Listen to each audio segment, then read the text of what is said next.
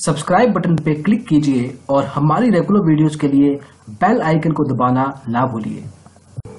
नमस्कार दोस्तों, और डिजिटल ब्लॉगर में आपका स्वागत है। आज हम बात करेंगे उन 10 स्टॉक ब्रोकर्स के बारे में जिनके खिलाफ सबसे ज़्यादा शिकायतें की गई हैं। सेबी में अलग अलग एक्सचेंजेस में।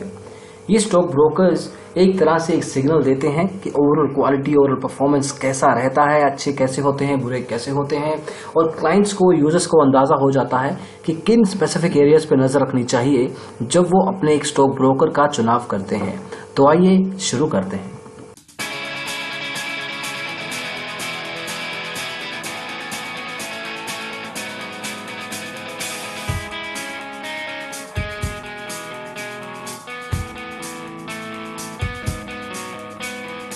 ब्रोकर्स के नाम जानने से पहले ये समझ लेते हैं कि ये लिस्ट ये रिसर्च कैसे बनाई गई है।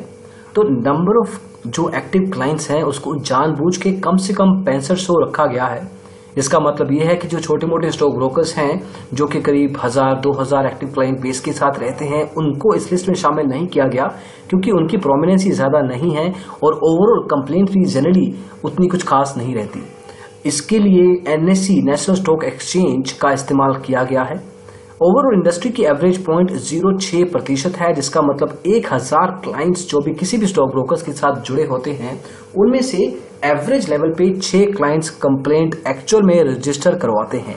ये रिकॉर्ड्स ये नंबर्स सन 2017 फाइनेंशियल ईयर के लिए लिए गए हैं तो डेफिनेटली लेटेस्ट नंबर्स हैं। तो सबसे पहला नाम जो कि नंबर 10 पे है, वो है इन टाइम इक्विटीज का, करीब 8000 एक्टिव क्लाइंट बेस है इनका।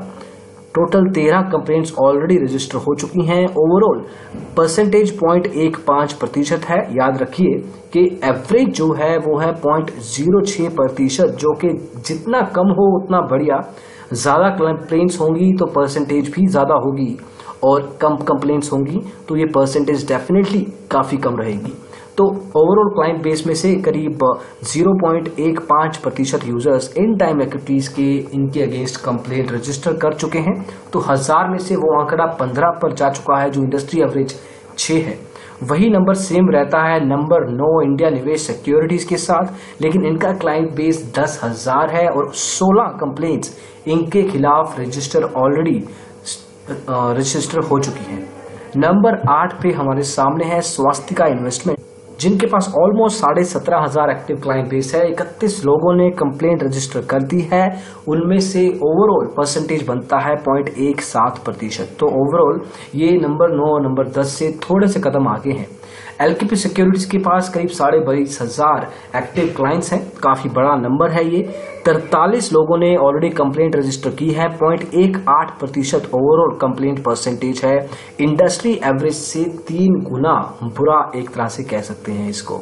नंबर छह पे हमारे पास ट्रेड बुल सिक्योरिटीज काफ़ी जाना पहचाना नाम है। मुंबई में इनका ऑफ़िस इक्यालीस हज़ार आठ सौ एक्टिव क्लाइंट्स तिरासी लोगों ने कंप्लेंट रजिस्टर की है। पॉइंट एक नौ प्रतिशत ओवरऑल परसेंटेज बनता है। नंबर पाँच पे चॉइस इक्विटी ब्रोकिंग रिलेटिवली नया नाम, सन 2010 में एस्टेब्लिश हुआ। पैंसठ सौ एक्टिव क्लाइंट्स हैं। इस साल इनके पास, उसमें से 15 लोगों ने रजिस्टर कर दी है कंप्लेंट पॉइंट दो तीन ओवरऑल परसेंटेज बनता है कंप्लेंट्स का। नंबर चार पे डेस्टिनी सिक्योरिटीज रिलेटिवली ठीक ठाक नाम, अड़सठ सौ ओवरऑल एक्टिव क्लाइंट बेस सोलह लोगों ने इसके खिलाफ कंप्लेंट रजिस्टर की है। पॉइंट दो तीन ओवरऑल इनका भी परसेंटेज बनता है। नंबर तीन पे करीब इक्कीस हज़ार एक्टिव क्लाइंट के साथ ग्लोबल कैपिटल का नाम आता है। उनचास कंप्लेंट रजिस्टर हो चुकी हैं पॉइंट दो तीन पे। लेकिन यहीं पे एक जंप आता है जब हम नंबर दो पे जाते हैं बीएमए वेल्थ क्रिएटर्स के पास। अब इनके पास करीब उनतीस हज़ार एक्टिव क्लाइंट्स हैं। उसमें से एक सौ इक्यावन कंप्लेंट्स ऑलरेडी रजिस्टर हो चुकी हैं। अगर परसेंटेज में बात करें तो पॉइंट पाँच दो प्रतिशत मतलब के हज़ार में से बावन यूज़र्स इनकी सर्विसेज़ से नाखुश हैं और इतना नाखुश हैं कि उन्होंने एक्चुअल में कंप्लेंट भी रजिस्टर की है। अगर नंबर तीन पे फिर से नज़र डालें तो उनका प्रतिशत पॉइंट दो तीन था। डबल से भी ज़्यादा है तो डेफिनेटली एक बड़ा नाम है जिसको आप इग्नोर कर सकते हैं। नंबर एक पे एक रिलेटिवली छोटा नाम है, आम्रपाल यादव ट्रेडिंग, लेकिन सिंस इनके क्लाइंट बेस तिहत्तर सौ के करीब हैं, उसमें से इक्यालीस लोगों ने कंप्लेन रजिस्टर की है।